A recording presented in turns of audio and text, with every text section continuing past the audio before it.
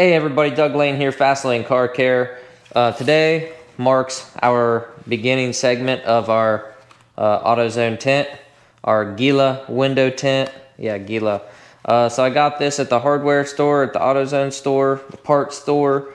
They sell this stuff everywhere. You can get the Black Magic from Walmart. I mean, probably honestly comes from the same place.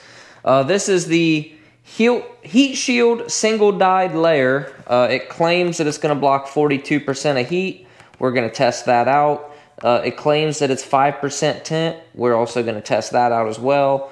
Blocks 99% of UV. I imagine so.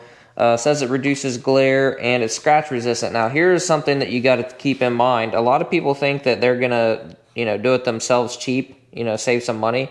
Uh, I believe this is like 15 bucks. I'd have to look at my receipt, but if you look here, 24 by 6.5 feet. So six and a half feet is only going to get you one set of doors. So if you have a four door car, guess what? Uh, you're going to need two of these just to do the roll ups, and that's assuming that you're totally satisfied with the result you got on the first go round. Uh, we're going to basically, the long term plan with this is test how quickly it fades. Uh, so today is April 27th. 2024. Uh, it's not going to make it to 25. I, I, I doubt it anyway. Um, so come over here to our light meter. It's Tint Check Pro. Um, this is basically the same company that makes a little over, you know, clip over the deals that uh, law enforcement uses. And so what you do is you put it together. You see it's 100%, right? So that means it's ready to go. We're going to just verify that it's calibrated. It comes with these checks. So we're looking for about 27.8. Um, so we'll put this little slide on there. And we should see something about 27, 27.1. So we're less than 1% away. Uh, so that's well, well within tolerance. Um, let's take our Gila tint. This is fresh. It feels like rubber.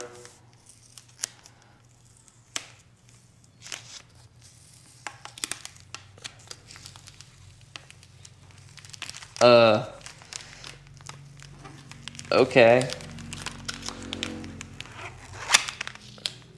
All right. Um. it looks so blue. Let's uh. Let's see our meter here needs to reset. Okay.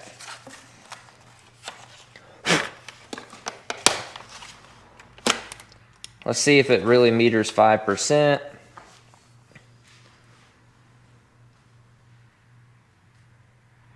Ha! 6.9. Uh, so already out of the box, this is technically, it's tolerable. It's within spec, but it's not that great. If anything, you want to see a hair darker than what it's advertised as, uh, rather than lighter. But, you know, what, what are you going to do? Um, so I don't know if you can see this. Can you put the camera up to it? I don't know if you can tell how blue this film is. It it looks ridiculous. The optical clarity on this is is really trashy too. It's you know, it's uh when you're looking through it, it's it's just kind of distorted, right? Um, bring bring it back in here. Let's uh this is some good quality.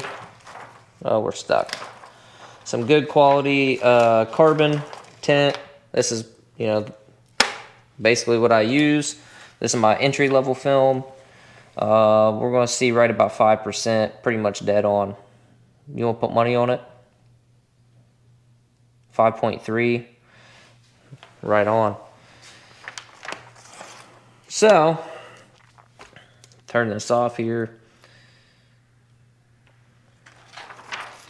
So if you hold this up, you can see you've got like a nice natural color to it. It's not blue. Um, you can look through it. I mean, the optical clarity is much, much better. Um, yeah, so we're gonna go get ready to uh, to tint this window. So stick around. All right, guys, we're back. I got this little demo door here. It's rigged up to a uh, to a power supply, so we can roll the windows up and down. Uh, Junkyard 04 Avalon, uh, thanks to Lane's Towing.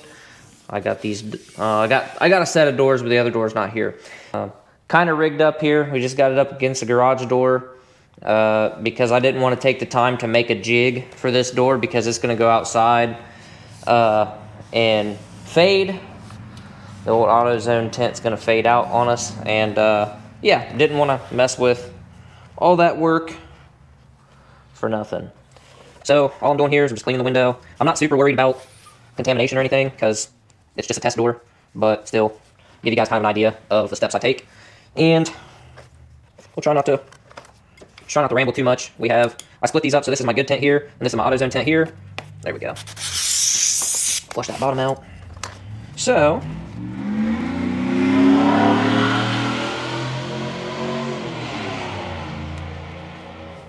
just trying to film here, bud.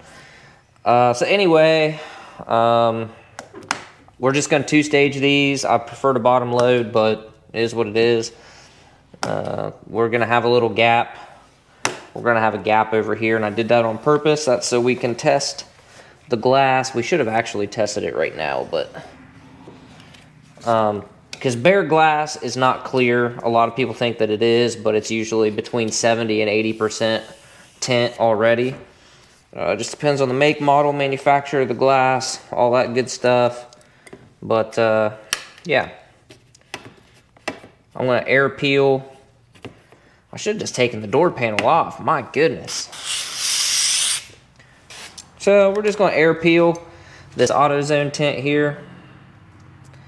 I, I really don't like this stuff. It's been a really, really, really, really long time since I've touched it. It uh, It's just very rubbery, just, I don't know. Let's see if I can get the liner. Uh, hang on a second here. Bear with me. Oh, almost.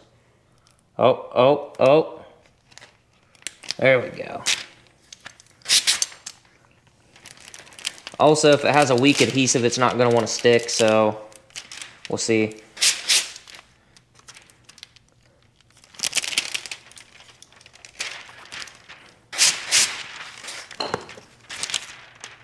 This is not how I do a customer car, but uh, I don't like air peeling stuff like that. Uh, just too much chance of contamination.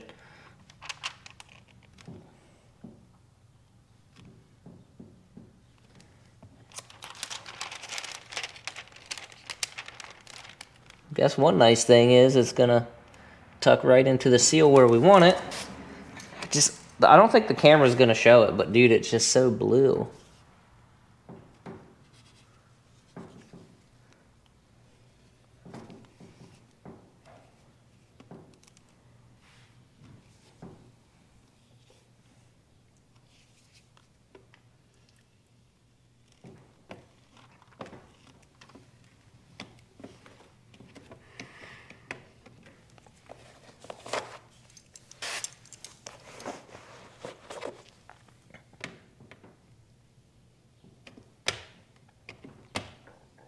Ugh.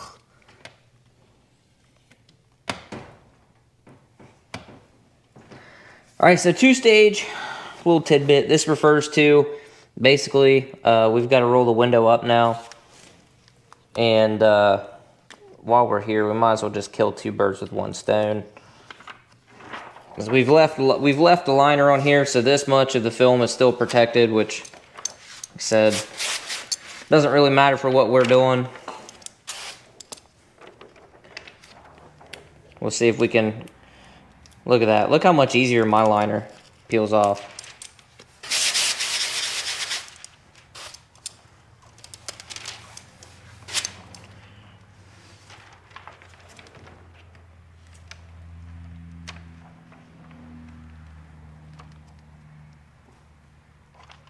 I cut these two so they pretty much line up other than up here at the top, but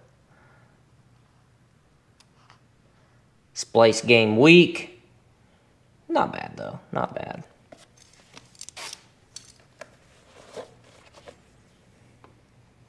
So one thing about my film is, uh, as long as you have good clean glass, get a good squeegee, you can uh, you can basically once the adhesive is set, it's set. Like it's not going to go anywhere. Now, this is kind of the double-edged sword. I have my slip solution mixed up as if I were going to bottom load. So it is a bit slippery.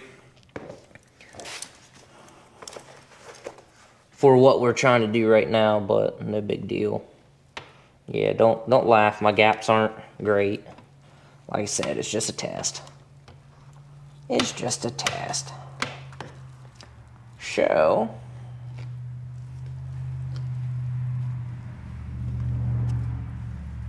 that's trying to weep from one side to the other. Like that. It's trying to suck moisture in, so we'll just squeegee them down there.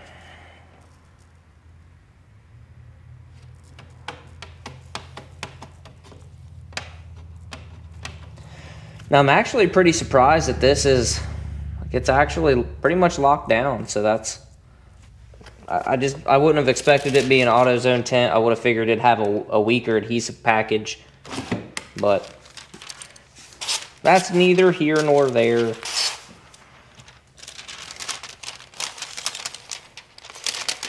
Uh-oh. Decent adhesive, but...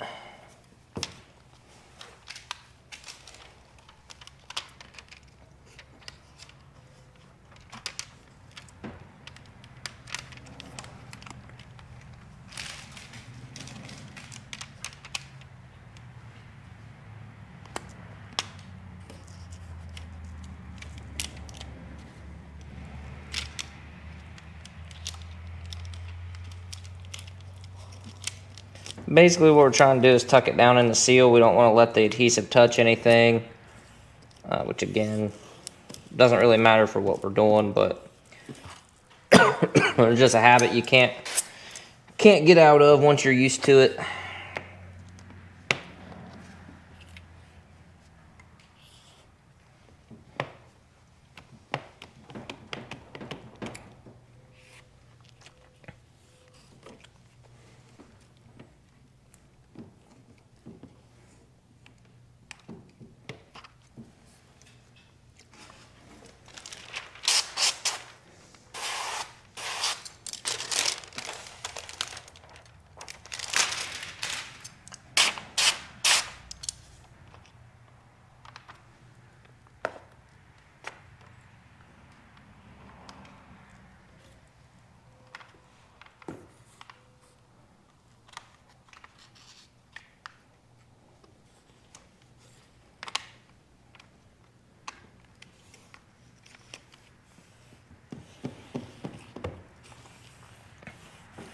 Much nicer if you ask me.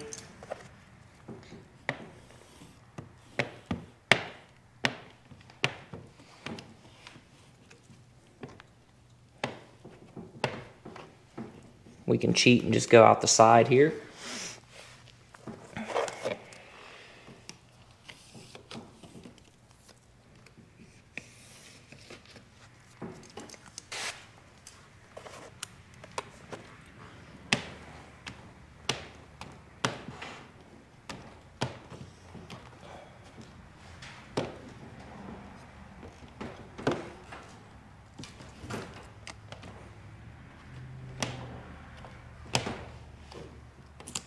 Uh-oh.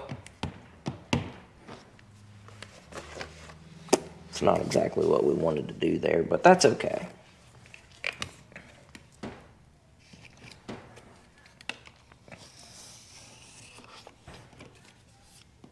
Got a little carried away and hit it with the backside of my squeegee right there, so tried to lift a little bit.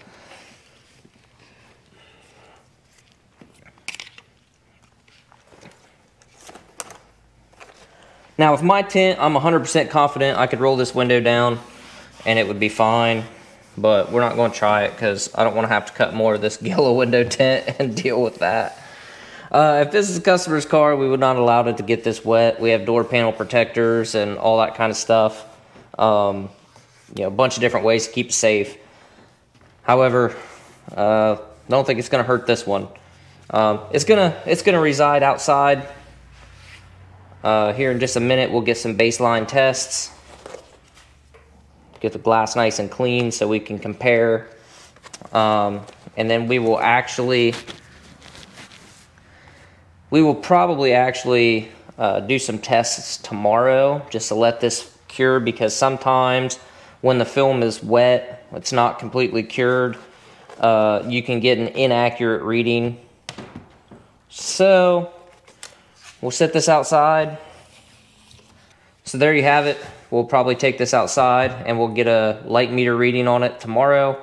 Um, give this some time to cure. And then uh, in the meantime, we take it outside, we'll do some photos.